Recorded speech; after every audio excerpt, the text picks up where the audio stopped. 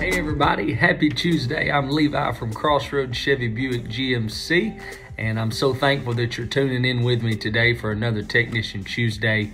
Um, today I want to be talking uh, to our hardworking customers that uh, have trouble getting here during our business hours. We understand that uh, some of our customers have to go in before 7.30 and uh, they can't make it here before 5 o'clock but it's okay. I've got good news for you. We have a system here at Crossroads that you can use and utilize, and that is our Dropbox system. Now, this will enable you, if you have an appointment with us, uh, you can uh, drop it in our Dropbox system um, when we're not here uh, in the after hours, and when we come in at 7.30 the next morning, uh, we'll be able to get your keys and uh, get your vehicle in the shop and get your appointment finished. So this will keep you from having to maybe take off or get somebody to bring you down here to drop your vehicle off.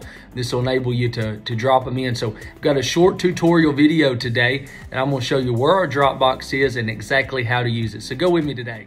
So when you pull into our dealership here at Crossroads, you'll see our blue awning that says service. Um, our key drop box is going to be located uh, directly under this awning to the right beside our roll-up door.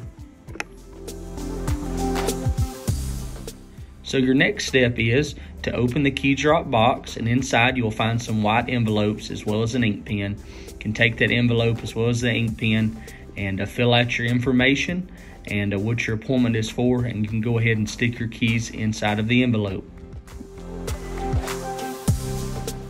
Lastly, you can push your envelope for the slot that says keys here and we'll take it from there. Hey guys, I hope that helped you in learning how to use our key drop system.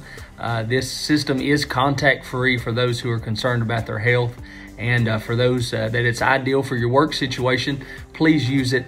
I've got a lot of our customers that do so. So I hope they helped you guys out. Um, you can uh, tune in with us next week again for another Technician Tuesday. In the meantime, stay safe, stay blessed, have a great day.